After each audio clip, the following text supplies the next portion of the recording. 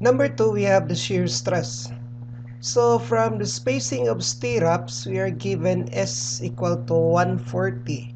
Using the formula, then substitute the value of AV, FST, and B. We can solve for V prime.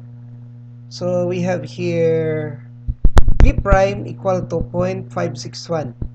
So this is the stress that the stirrups could carry. We can solve also the allowable shear stress of concrete from the formula. And then we have the allowable shear strength of concrete. So that means in the beam, the stirrups can carry a stress of 0.561 megapascals and the concrete can carry a stress of 0.4142 megapascals. So all in all, we can solve for the shear stress that the beam could carry. And that is equal to this. The actual shear stress is equal to this formula.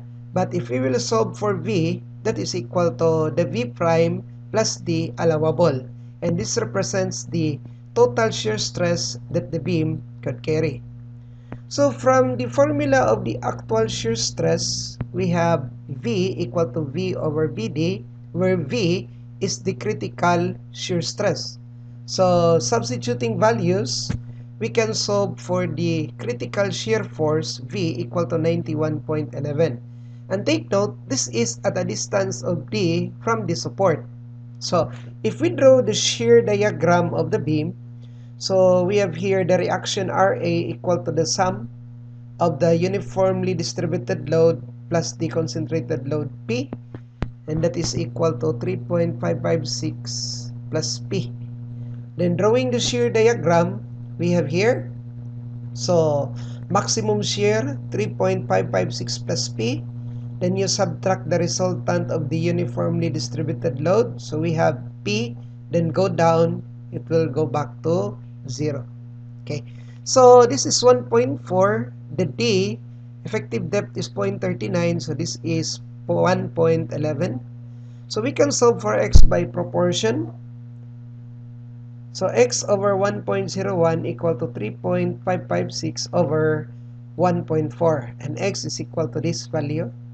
So the shear force, critical shear force V is equal to P plus X.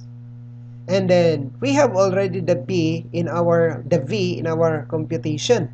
And that is equal to 91.11. So equating the V in the shear diagram and the V computed from the beam then we can solve for the P, the maximum force P that the beam could carry based from shear, 88.54. Number 3, we have the value of the maximum P, maximum value of P from band stress. So we can solve for the allowable band stress.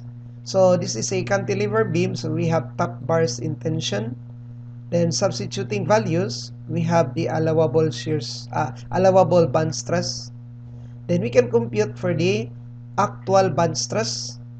So the Vmax is equal to the reaction at A, which is equal to 3.556 plus P. Na? Okay. So substituting, equating the actual band stress to the allowable, then substituting values, we can solve for the maximum shear force that the beam could carry based on band.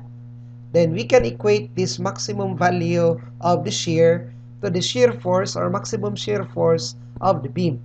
So equating the two, we can get the value of P based on band. Okay, so that ends our discussion. So if you have additional questions, do not hesitate to email me or uh, message me through messenger. So thank you very much